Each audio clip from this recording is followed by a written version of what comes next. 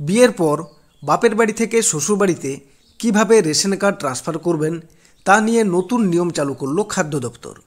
এর জন্য কত নম্বর ফর্ম ফিল করতে হবে, সাথে কি কি ডকুমেন্টস জমা দিতে হবে, রেশন ডিলারের সই লাগবে কি না কোথায় ফর্ম জমা দেবেন, বাপের বাড়ির ঠিকানায় না শ্বশুর বাড়ির ঠিকানায় ম্যারেজ সার্টিফিকেট না থাকলে কি করবেন, এই সমস্ত প্রশ্নের উত্তর আমরা এই ভিডিও থেকে জেনে নেব।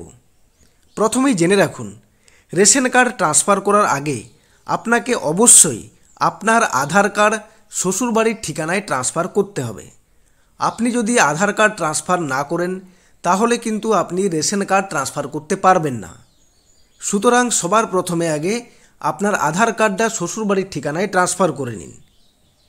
দু নম্বর, রেশন কার্ড ট্রান্সফার করার জন্য এখন রেশন ডিলারের থেকে কোনো সই লাগে না। শুধুমাত্র চোদ্দ নম্বর ফর্ম ফিল করলেই হয়। তো চলুন দেখে নিই কীভাবে এই চোদ্দ নম্বর ফর্ম ফিল করবেন। বিয়ের পর রেশন কার্ড ট্রান্সফার করার জন্য চোদ্দ নম্বর ফর্ম ফিল করতে হয়। প্রথমে আছে সেকশনে existing card type and member of the person shifting into new family. যে বিবাহিত মহিলা তার রেশন কার্ড ট্রান্সফার করতে চাইছেন, তার সমস্ত তথ্য এখানে দিতে হবে। প্রথমে কি আছে? নাম। নামটা কীভাবে লিখবেন? নামটা লিখবেন আধার কার্ড অনুযায়ী। আপনার আধার কার্ডে নামের যা বানান আছে, হুবহু একই বানান এখানে লিখবেন। এরপর রেশন কার্ড টাইপ। আপনার রেশন কার্ডটা কী টাইপের? A A Y PHH SPHH R কেশয়ন R কেশয় টু না জেনারেল? যেটা প্রযোজ্য সেটার পাশে টিক চিহ্ন দেবেন। এখানে আপনার রেশন কার্ডের নাম্বারটা লিখে দেবেন। Relation with the member, whose details given below. এখানে লিখে দেবেন ওয়াইফ দু number relation with head of the family of new family আপনার শ্বশুরবাড়ির পরিবারে হেড অফ দ্য ফ্যামিলিকে যদি শ্বশুরবাড়ির ফ্যামিলিতে হেড অফ দ্য ফ্যামিলি শ্বশুর মশাই হয়ে থাকে, সেক্ষেত্রে লিখে দেবেন ডটার ইন ল যদি আপনার স্বামী শ্বশুরবাড়ির ফ্যামিলির হেড অফ দ্য ফ্যামিলি হয়ে থাকেন, সেক্ষেত্রে এখানে লিখে দেবেন ওয়াইফ এরপর সেকশন বি এখানে আপনার স্বামীর রেশন কার্ডের সমস্ত তথ্য দিতে হবে। এখানে স্বামীর নামটা লিখবেন। এখানে তার রেশন কার্ডের ক্যাটাগরিটা কি? A Y PHH SPHH R K one R K two না জেনারেল? যেটা প্রযোজ্য সেটার পাশে টিক দেবেন এবং তার রেশন কার্ডের নাম্বারটা এখানে লিখে দেবেন। এরপর সেকশন সি যেহেতু আপনি বিবাহ সূত্রে কার্ড ট্রান্সফার করতে চাইছেন, তাই এক নম্বর পয়েন্টের উপর একটা টিক চিহ্ন দেবেন। এরপর কি আছে? সেকশন ডি এখানে contact details of the family. এখানে আপনার মোবাইল নাম্বারটা দেবেন। সেকেন্ডারি মোবাইল নাম্বার থাকলে এখানে দেবেন। হোয়াটসঅ্যাপ নাম্বার থাকলে এখানে দেবেন। ইমেল আইডি থাকলে এখানে দেবেন।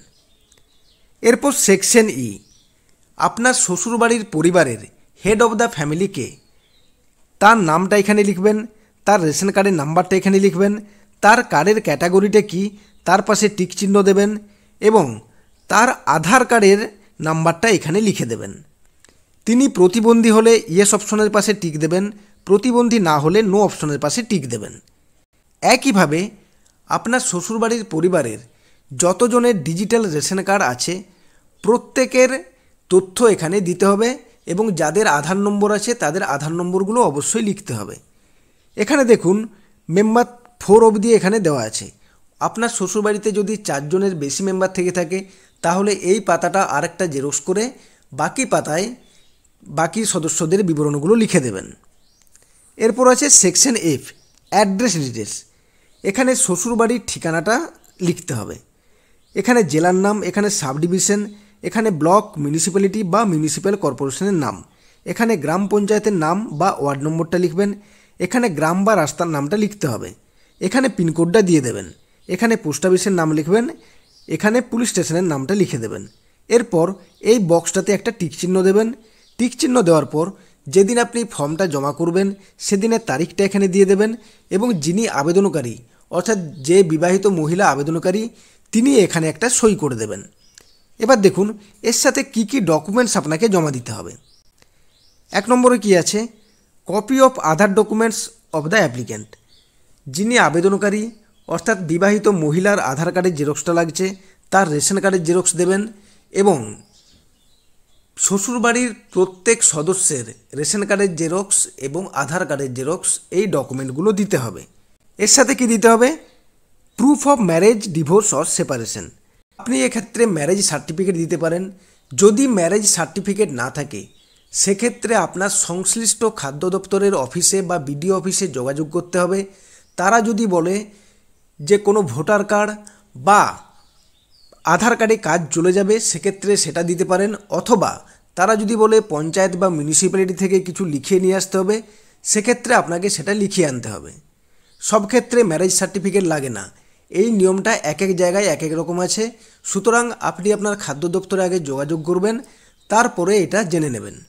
ঠিক এইভাবে ফর্ম ফিল করে এবং সমস্ত ডকুমেন্ট নিয়ে আপনি আপনার শ্বশুরবাড়ির ঠিকানার বিডিও অফিস বা সেখানে যদি দুয়ারে সরকার ক্যাম্প হয়ে থাকে, সেই ক্যাম্পে এটা জমা দেবেন। জমা দিলেই পনেরো থেকে তিরিশ দিনের মধ্যে আপনি আপনার অ্যাপ্লিকেশনের স্ট্যাটাসটা জানতে পারবেন যে এটা অ্যাপ্রুভ হয়েছে কি না।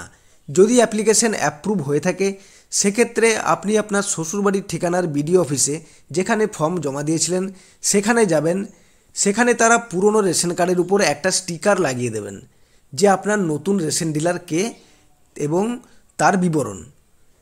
নতুন রেশন কার্ড কিন্তু এখনও পাবেন না। পরবর্তী ক্ষেত্রে আপনি যদি ডুপ্লিকেট রেশন কার্ডের জন্য আবেদন করেন, সেক্ষেত্রে আপনি নতুন রেশন কার্ড পেয়ে যাবেন। ধন্যবাদ।